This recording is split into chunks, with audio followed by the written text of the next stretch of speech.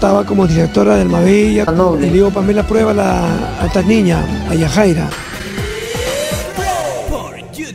El productor Nilber Warak sorprendió al revelar en exclusiva para América Hoy un episodio que sucedió años atrás cuando Pamela Franco le hizo casting a Yajaira Plasencia para integrar Alma Bella. Terminamos, se logró.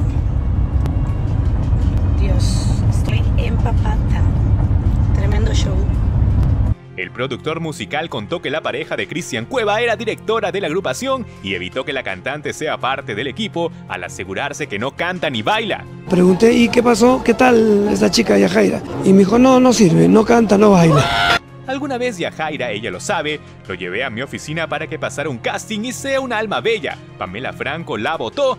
Pamela estaba como directora de Alma Bella.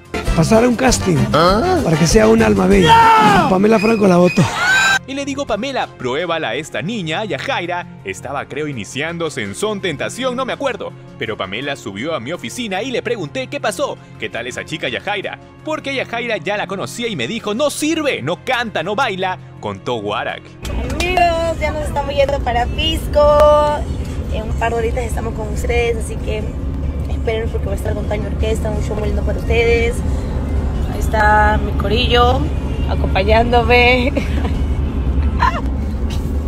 El productor musical reveló que Pamela Franco evitó que Yajaira Plasencia sea parte del grupo Alma Bella al asegurar que no sabe cantar ni bailar.